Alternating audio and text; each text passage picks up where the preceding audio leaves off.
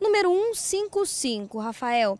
De acordo com o Código Penal Brasileiro, este é o artigo que representa o crime de furto, que é quando um bem é subtraído de uma pessoa sem o emprego de força ou arma e, na maioria das vezes, sem que a própria vítima perceba o que aconteceu instantaneamente. Foi exatamente o que aconteceu aqui em frente a este número por coincidência ou não, aqui na rua Paulo de Frontin, no bairro Custódio Pereira.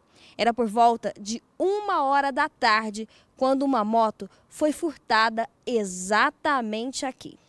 De acordo com estas imagens, feitas pela câmera de segurança que fica próximo do local do crime, era hora do almoço. Repare que o relógio marca meio-dia e 59. Este rapaz de bermuda, chinelo, camiseta listada e boné para trás, se aproxima do veículo com um capacete na mão.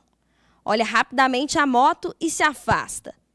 Um minuto depois ele volta, agora já com o capacete na cabeça. Sobe no veículo e vai embora tranquilamente. A moto pertence a este prestador de serviço que prefere não mostrar o rosto. Ele conta que deixou o veículo estacionado no local para atender um cliente e quando chegou do lado de fora, uma triste surpresa: a moto não estava mais lá. Eu cheguei, entrei e fiquei aqui no local por volta de uma hora. Aí, quando finalizei o serviço, fui sair para pegar a moto, a surpresa é que a moto já não estava mais lá.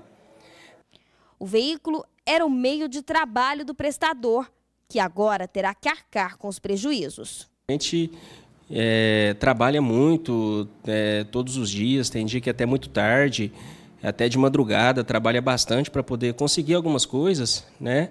E vem um meliante como esse daí e simplesmente toma da gente em questão de segundos. Aborrecido, o homem pede ajuda para quem tiver pistas da moto ou do suspeito que aparece nas imagens. A moto, no momento que foi furtada aqui, tinha um baú branco grande atrás, que era o baú que eu usava para transportar os equipamentos.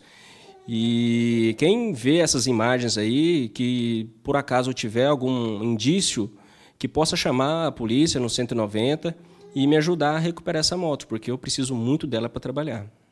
É o sustento da sua família. Sim, eu utilizo ela para ajudar no sustento da minha família.